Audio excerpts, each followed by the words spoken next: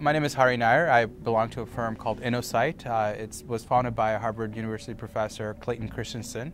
Um, he's quite famous for writing a book called Innovator's Dilemma, and um, the firm InnoSight was actually set up by him to really take his concepts of disruptive innovation and, and take it across the world. Godrej is a 114 year old company. Uh, and we've been into the locks, the furniture, uh, refrigerators, and one of the largest uh, private companies in India. Uh, and we've been all the time working on innovations that meet the needs of the Indian users because we know the Indian users, the Indian customers the best. We started helping them develop a, a very interesting uh, concept to go after refrigeration in India. The idea of Chotukool came from 80% of the users in India are not using a refrigerator. They don't have access to refrigerator. So is there a way that we can give them an access? There are three or four fundamental innovations in Chotukool. Number one, the technology. It's not compressors, but it is solid state cooling. Number two, the design. It's not a traditional refrigerator with a front opening door, but it's a small product. Number three, the way we reach out to the people. So we tied up with NGOs, we have tied up with the India Post because you have to reach it out to a very well distributed uh, uh, you know, user base, which is all in the rural area.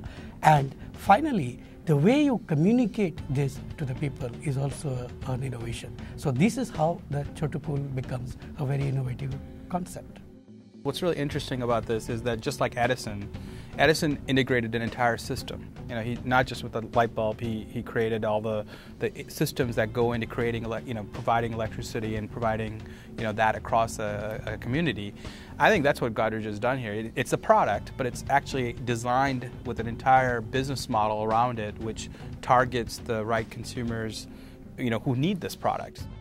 The people who use it uh, are people uh, who have small families. Uh, they don't have a lot of disposable income, so they use it for the daily use items, keeping a few bottles of water, some milk, uh, a little bit of vegetables, some slight leftover foods, and things like that.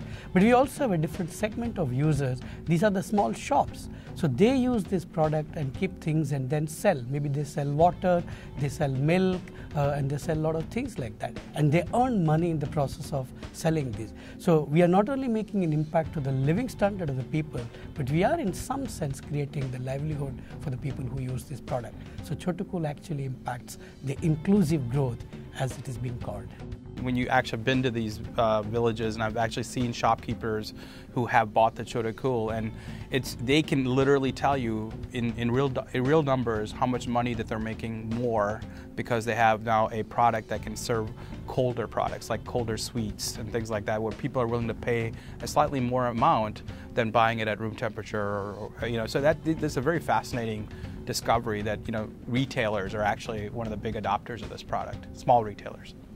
So the whole idea of Chotukool is to cool it just right. If you do the just right, it's not only that it is good for the, the food, the vegetables, uh, because the humidity is better in the product, it is good for the planet, it is good for the earth, because you consume a more proportionate amount of the uh, resources, uh, energy, and in all sense. So the Chotukool as an innovation symbolizes the concept of just right, and just right is what is the future given how they've gone about this product, not just focusing on the product, but the entire system, it's a testament to what Edison did. So I, I really believe that you know it's a real um, in, innovative approach to taking on a very important problem in India and other markets.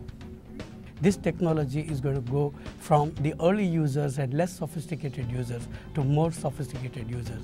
And we are on the way with a nanotechnology based chips working towards this cooling. And someday, Uh, the growth of this technology will reach it out not only to the bottom of the pyramid and the Indian users, but probably across the world, changing the landscape of cooling in the world.